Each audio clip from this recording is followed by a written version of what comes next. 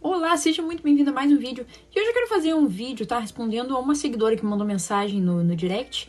E ela diz o seguinte, né? Que ela é casada há dois anos e no passado o marido fez umas coisas aí que é, fez ela perder a confiança nele, tá? Hoje ela é insegura, ciumenta, carente. Ele mudou bastante, mas não é o suficiente. Ele trabalha fora e quando ele tá longe não fala muito com ela. É sempre ela que tem que mandar mensagem e a vida dela é só chorar. Então, eu quero fazer um, esse vídeo porque existe muito, né? Acontece muito de no início dos relacionamentos alguém dar uma bola fora, sabe? Alguém fazer alguma coisa que traz aí pro, pro relacionamento uma certa sombra, né? E não importa o que a outra pessoa faça, aquilo continua sendo uma sombra no relacionamento. Tá? Eu quero abordar em três etapas o vídeo, né? A primeira etapa é o seguinte: confiar não é essencial, tá? Presta atenção. Num relacionamento, é, a confiança ela não pode vir antes do amor, tá? Amar é essencial. Então, assim, quando tu decide amar alguém, não necessariamente ela precisa ser uma pessoa confiável, tu entendeu? O amor, ele supera a confiança. Então não bota a carreta na frente dos bois, entendeu? Primeiro vem o amor, depois vem a confiança, sabe? Mesmo que a pessoa, né, te dê motivos ali pra enfim, desconfiar dela, né, ter acontecido coisas. Olha, o amor ele vem em primeiro lugar. A confiança é uma coisa periférica, tu entendeu? E na verdade a confiança, ela é tipo assim, ó, um, um instrumento de frustração. Porque aí eu, eu confio naquela pessoa, coloco todo ali, né, a, a minha expectativa, a minha esperança, né, deposito isso nela, e aí ela vai lá e faz o que ela quiser, e eu acabo 100% frustrada aqui com os meus sentimentos. Então é isso que eu digo, a confiança ela não é essencial. Olha bem, parece, né, meio assim, como assim, Tati? Confiança? Poxa, até casada há 15 anos, vem falar que confiança não é essencial? Claro que não. Eu confio no Fábio, ele confia em mim, né? Porque a gente já tem um relacionamento estruturado. Mas assim, se eu fosse começar um relacionamento novo, eu não ia confiar na pessoa. Sinceramente, eu ia só amar ela. Entendeu? Olha, vem aqui, eu vou te acolher, eu vou te cuidar, eu vou dar o meu melhor para ti. Porém, o seguinte, né, né, né? Tu é responsável pelas coisas que tu faz. Porque a confiança é a gente colocar expectativas numa coisa que não tá no nosso domínio. A gente pode zelar pela nossa integridade, a integridade do nosso caráter. Então, ou seja, eu nunca vou trair. Mas a outra pessoa a gente não sabe. Então confiar não é essencial. Essencial é amar. Em primeiro lugar, isso, tá? Coloca isso na tua cabeça. O segundo ponto que eu quero abordar é o seguinte: quando tu coloca aqui, ó, que ele mudou muito, mas nada, não é suficiente, né? Eu quero te dizer o seguinte: muito provavelmente essa tua é, insegurança, né, esse teu ciúme, a tua, a tua carência, vem antes do fato dele ter te traído, tá?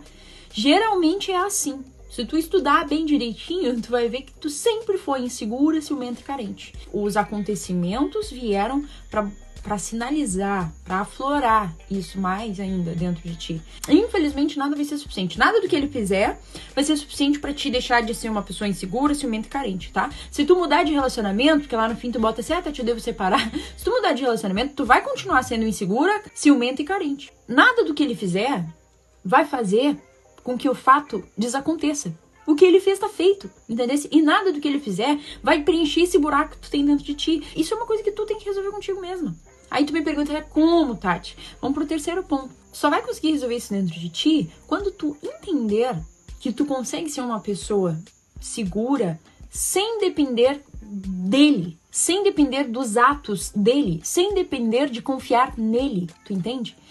E tu pode sim, tá? Te tornar uma pessoa mais madura com uma vida articulada. Porque quando tu me diz assim, olha, minha vida é só chorar, o que que eu entendo? Olha, essa pessoa não tem nada para fazer da vida, entendeu? O marido tá trabalhando, tá longe, né? Não tem tempo muitas vezes para falar com ela, para responder, e ela tá chorando por quê? Porque ela não tem uma vida. A vida dela é esse relacionamento frustrado. Então, tu tem que ter uma vida articulada. O que que é uma vida articulada? É uma vida com vários pontos fortes, vários pilares fortes. O que eu sempre digo é o seguinte: trabalhar é essencial, tá? Se tu trabalha já, olha, tu não tá te dedicando muito, porque se a minha vida é chorar, tá faltando, né? Uma presença aí no teu trabalho, né? Te dedica mais. Se tu não trabalha, dá um jeito de trabalhar. Faça alguma coisa, nem que seja em casa, dá teu jeito pela internet, sei lá, pensa em alguma coisa. Estudar traz muita autoestima pra gente, porque quando a gente aprende coisas novas, a gente se torna uma nova pessoa a cada dia. Então é essencial tu estudar alguma coisa, nem que seja através de vídeo do YouTube, nem que seja através de curso gratuito, nem que seja através de livro, sabe? Dá o teu jeito, estuda alguma coisa diariamente. Tá? Uma vida articulada, trabalho, estudo, teu relacionamento com a tua família. Horas, o teu relacionamento amoroso, ele não pode ser a única coisa que existe na tua vida. Quando a gente tem um bom trabalho, a gente estuda, aprende coisas novas, a gente tem um bom relacionamento com a nossa família, né? O nosso relacionamento, ele fica até mais saudável, porque aí tu não sufoca tanto, sabe? Tu não depende tanto daquilo ali. Outra coisa que eu sempre digo, é imprescindível que tu faça atividade física. Que muitas vezes as pessoas elas estão muito ansiosas, estão muito depressivas ali dentro de casa, sabe fazer uma atividade física, porra, melhora. Melhora, tu entendeu? Melhora a tua qualidade de vida, melhora a tua qualidade psicológica, inclusive. E olha, eu saio pra fazer alguma coisa, eu, eu trabalho, eu estudo, me relaciono bem com a minha família, sabe? Eu tenho um hobby, eu tenho religião, eu assisto vídeos no YouTube, eu faço alguma coisa para aprender coisas novas todos os dias. E é assim que tu vai conseguir te libertar dessa insegurança, desse ciúme e dessa carência. Porque eu vou ser muito sincera contigo. Olha, esse homem te ama. Esse homem te ama. Porque assim, aguentar uma pessoa insegura, ciumenta e carente, e ali, como tu botou, que ele é carinhoso contigo, que ele te dá atenção, né? Como quando ele tá contigo e tal, é muito difícil. Sabe? É muito difícil conviver com uma pessoa que é insegura, que é carente. O que tá faltando, na verdade, é uma atitude tua para tornar esse casamento um pouco mais saudável, um pouco mais interessante, sabe? Trazer coisas novas para dentro desse relacionamento, ter um olhar para ele de, olha assim, eu não preciso confiar em ti, sabe? Eu te amo, faz o que tu quiser da tua vida, eu tô aqui, eu te amo, tu entendeu? Quando tu chegar em casa, eu vou estar de braços abertos, com um sorriso no rosto para te receber. Isso é uma decisão. Tu pode decidir passar por cima da confiança, entender? Se assim, olha, azar da confiança. Eu quero aqui é mais, cara, entendeu? Quando ele chegar em casa, eu vou esperar ele.